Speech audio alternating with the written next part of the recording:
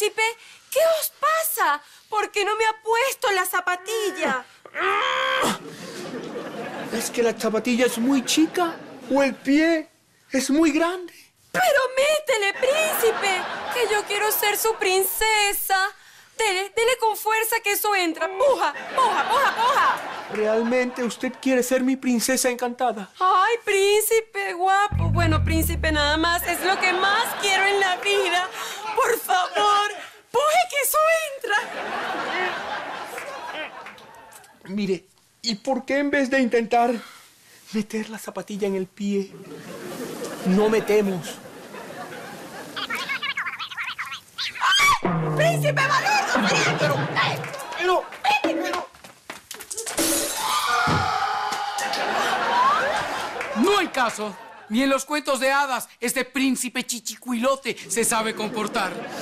Suerte que para desasnar a la audiencia, para mostrarles cómo se conquista el corazón de una princesa encantada como esta, para eso para eso está aquí tu bachiller amor. Observen y aprendan del príncipe del piropo.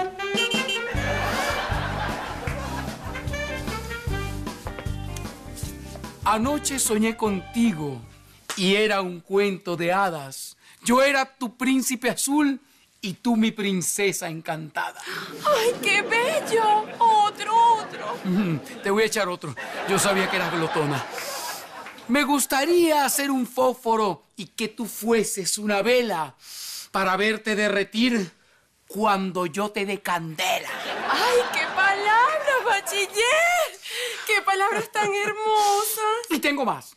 Tengo muchas más palabras para una princesa del perreo como tú. Una princesa fina que merece que merece las dos palabras más hermosas de todo el idioma castellano.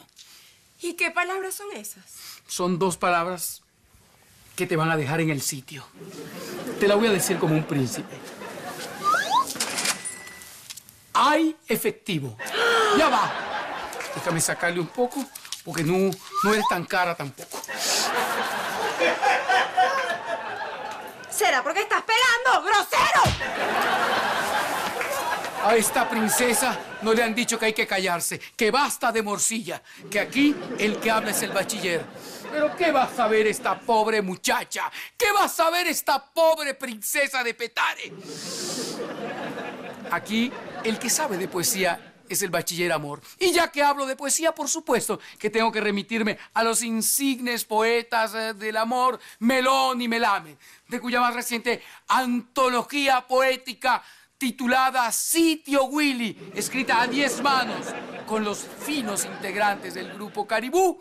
De ahí extraemos esta belleza poética que versa así. Melón y Melames al palacio fueron un día. Melón eligió la carroza, Melames el caballo.